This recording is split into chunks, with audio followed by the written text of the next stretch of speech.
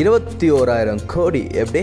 இருபத்தி ஓராயிரம் கோடி சொத்துக்கு அதிபதியான ராதா வேம்பு அப்படிங்கிற ஒரு சிங்கப்பெண் பத்தி தான் இந்த வீடியோல பார்க்க போறோம். சுயமா பில்லியனர் நிலையை அடைஞ்ச பெண்கள் பட்டியலில் தற்போது வந்து பாத்தீங்கன்னா மூணாவது இடத்துல இருக்கக்கூடியவங்க தான் ராதா வேம்பு. இவங்களுடைய சொத்து மதிப்பு one point seven billion dollar அதாவது இந்திய மதிப்புல இருபத்தி ஓராயிரம் கோடி அப்படிங்கிற மாதிரி சொல்றாங்க. ஜோகோ கார்பரேஷன் நிறுவனத்துடைய அதிகப்படியான பங்குகளை வச்சிருக்கும் 49 வயசான ராதா வேம்பு ஜோகோ மெயில் சேவையின் ப்ராடக்ட் மேனேஜராக இருக்கிறாங்க. ஜோகோ நிறுவனத்தை பொறுத்த வரைக்கும் தமிழ்நாட்டில் மிக முக்கியமான மிக பிரபலமான நிறுவனம் அப்படின்னு சொல்லலாம். சென்னையில் வந்து பார்த்தீங்கன்னா ஹெட் குவார்ட்டர்ஸ் இருக்குது ஸோ சென்னையை தலைமையிடமாக கொண்டு சுமார் பன்னெண்டு நாடுகளில் உலகம் முழுவதும் ஜோகோ நிறுவனம் இயங்கிட்டு வருது. இந்த நிலையில் ஜோகோ மெயில் சேவையுடைய ப்ராடக்ட் மேனேஜராக இருக்கக்கூடிய ராதா வெம்பு இப்போ சமீப காலத்தில் பயங்கரமான ட்ரெண்டிங்கில் இருக்காங்க அப்படின்னு சொல்லலாம். அதுக்கான காரணம் உலகத்திலேயே இப்போ ராதா வெம்பு தான் ஆயிரத்தி நூற்றி எழுபத்தி ஆறாவது பணக்கார பர்சன் அப்படிங்கிற ஒரு இடத்த பிடிச்சிருக்காங்க. அண்ட் அது மட்டும் இல்லாமல் தேர்ட் ரிச்சஸ்ட் இந்தியன் விமன் அப்படிங்கிற ஒரு பெருமையும் இவங்களுக்கு தான் சேரும். அதாவது இந்திய அளவில் பெண்களில் மூணாவது பணக்காரர் அப்படிங்கிற ஒரு பெருமை